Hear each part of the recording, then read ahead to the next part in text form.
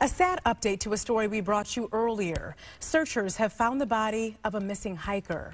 63-year-old Jeffrey Morton was reported missing yesterday. He left his Yorba Linda home around 2.30 a.m. to go on a hike in Carbon Canyon Regional Park. Morton was expected home around 6 a.m.